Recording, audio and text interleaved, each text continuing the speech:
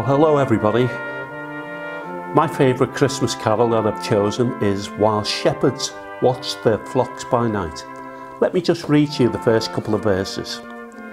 While shepherds watched their flocks by night, all seated on the ground, the angel of the Lord came down, and glory shone around.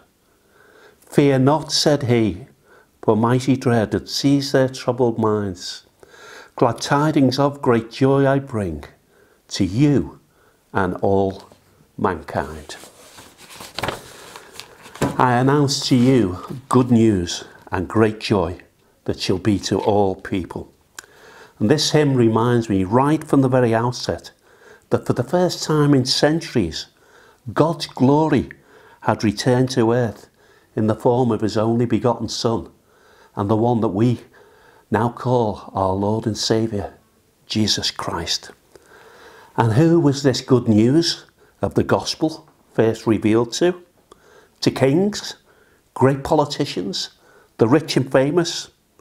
No, to the lowest of the low of Jewish society, to shepherds whose work made them unacceptable in the temple and ceremonious unclean to partake in anything that went on there. And so it was fitting that the good news of God's good shepherd came to these lonely shepherds on that hillside above Bethlehem that night. Let me read to you from Luke chapter 2, verse 8. Now there were in that same country shepherds living out in the field, keeping watch over their flock by night.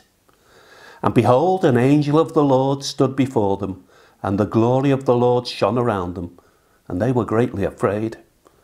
Then the angel said to them, Lovely words, do not be afraid. For behold, I bring you good tidings of great joy that will be for all people. For there is born to you this day in the city of David a Saviour who is Christ the Lord. And so it was when the angels had gone away from them into heaven that the shepherds said to one another, let us now go to Bethlehem and see this thing that has come to pass, which the Lord has made known to us. And they came with haste, and they found Mary and Joseph and the babe lying in a manger. Now, when they'd seen him, they made widely, widely known the sayings which were told them concerning the child. And all those who heard it marvelled at those things which were told them by the shepherds. Then the shepherds returned, glorifying and praising God for all the things they had heard and seen, and that was told them. Notice how clear directions were given to the shepherds in order that they could find Jesus. And they responded to the good news that had been given to them immediately. And they started what, in effect, was the first Christmas rush as they hastened into Bethlehem.